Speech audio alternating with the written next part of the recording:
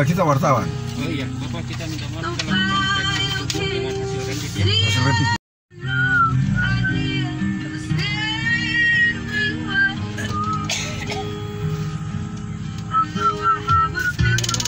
Kita semprot kendaraan dulu. Sehat, Alhamdulillah. baru kelihatan ini. Itu lagi.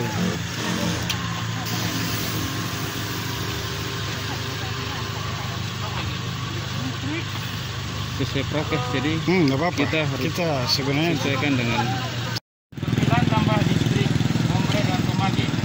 berarti Ya, kan memang sudah jadi mereka sudah melakukan swab. Swab di dalam. Untuk apa? Untuk dari Gomray, Tomage dan Bahan Bantara, tanggung jawab puskesmas melakukan swab itu sudah dilaksanakan. Untuk kafilah-kafilah yang lain, di mana mereka Berarti semua berapa? Tadi berapa? Bukan, 11 tambah tambah 3 ya? Jadi sudah 14. Jadi sisa tiga di Sisa tiga distrik. Iya. Sampai hari ini toh? Sesuai dengan prokes. Jadi Proke akhirnya terpapar sendiri. begitu tinggal di rumahnya satu malam, Hmm. ya mereka pulang ke Kelapa Dua, begitu pulang mereka yang Tapi yang penting ketemu di kelapa duanya gitu tuh. ya ada di Kelapa Dua. Datanya saya sudah ambil semua. Ah, yang penting jangan sampai dia sebarkan lagi kan. Seragen nanti. Dari Seragen, jemputan dari Seragen. Ah, mereka sempat bermalam satu malam di sini. sempat bermalam. Nah, dari situ begitu mereka pulang, istrinya Mas Gandung sakit. Sebelumnya Vaksin. Eh, vaksin. Jadi Vaksin. alasannya itu karena vaksin, tapi sebetulnya kan sudah terkontak terkontaminasi duluan. Bukan karena reaksi vaksinnya. Dari situ sudah makanya alasannya Mas Gandung kan ngepil karena itu. Ini. Dia mungkin lagi peletakan batu pertama di sini kapan? Atau dong tidak ikut agenda pemerintah? Oh, beda lagi. Bukan dong tidak.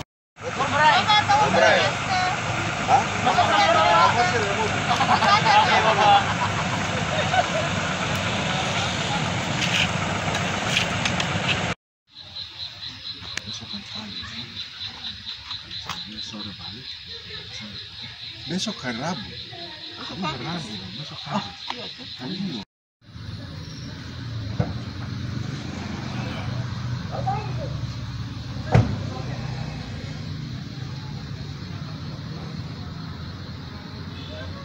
MTQ eh, tingkat distrik di Kabupaten Fakfak eh, kita menerapkan protokol kesehatan karena di Fakfak sedang meningkatnya kasus COVID-19.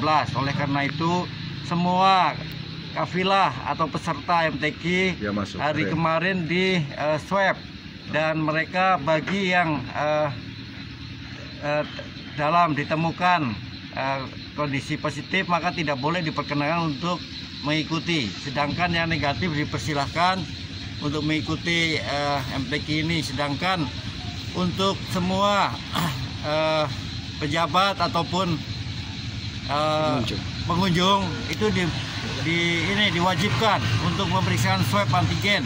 Tadi kita rombongan bupati, bupati sudah melaksanakan Swab pemeriksaan antigen dan di pintu masuk Bombre eh, di ada penyekatan. Di situ dilaksanakan desinfeksi yaitu penyemprotan eh, terhadap mobil-mobil ya, Kendaraan kendaraan manusia sehingga eh, kita harus bebas ya. Dari COVID. dari COVID sehingga tidak ada Eh, ini kan belum masuk ke tempat eh, pelaksanaan ya. Tempat pelaksanaan.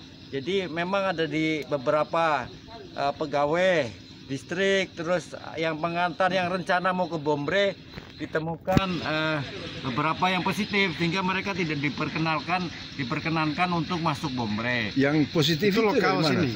Ya, beberapa eh, distrik mereka memeriksakan dirinya seperti di Kokas, di Papua Tengah eh, ada dan Positif. ya ada positif dan kita Berapa belum positif? ya, Peserta yang sudah belum, terdaftar eh, gitu. Ya, kita belum ini karena kita masih anggap mereka eh, Belum rencana masuk. mengunjungi lah, Ah, mengantar dan eh, rencana Official. menjadi panitia ofisial. siap. Eh, dan Itu mereka yang positif itu dari panitia atau peserta? Ya, memang beberapa eh, apa ini yang ditemukan ada ada eh, calon ya, calon peserta dan juga eh, Panitia. panitia Berapa tingkat orang? distrik sehingga eh, apa mereka tidak diperkenalkan dan Masuk. masuk, ke Bombre. Berapa Dan orang, Pak? Sekitar 8 orang yang Positif. terdiri dari eh, Peserta? ya peserta yang dari eh, Teluk Patipi, Hmm. terus ada juga yang dari eh, Sekban dan Papua Tengah. Oke, Ya. baik. ada kena makanan ke apa kan ya kena bunga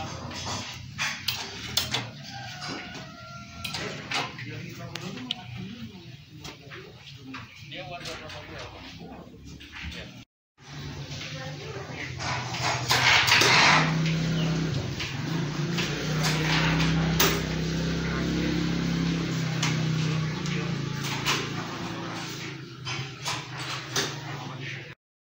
empat ini juga cuma kita kurang tahu tindakan mereka yang di apa dua sendiri bagaimana kita tidak tahu. Yang jelas karena waktu itu awalnya kita apa siap semua keseluruhan. Ditemukanlah dari dari puskesmas termasuk saya sini dari pas langsung